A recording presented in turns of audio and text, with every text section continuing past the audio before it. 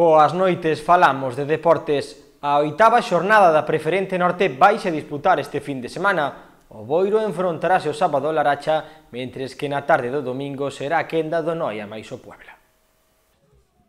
Os conxuntos da comarca na Preferente Norte van a disputar este fin de semana a oitava xornada da competición, na que intentarán achegarse máis aos postos altos da clasificación.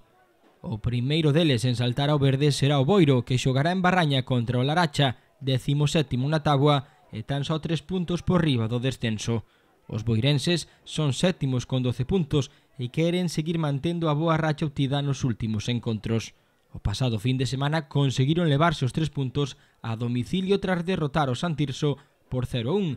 Este sábado intentarán sumar de novo unha vitoria que os sitúe próximos ou mesmo nos postos de ascenso.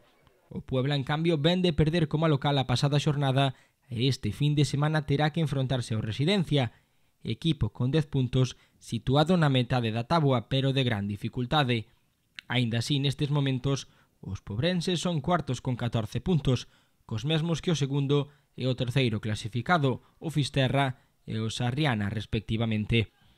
Este Fisterra será o rival do Noia en San Lázaro polo que poderá contemplarse Un encontro de bo nivel e competitividade onde os de Iván Carril intentarán que os tres puntos queden na casa e ir así escalando posicións na tabua para chegarse igual que o Boiro aos postos de ascenso.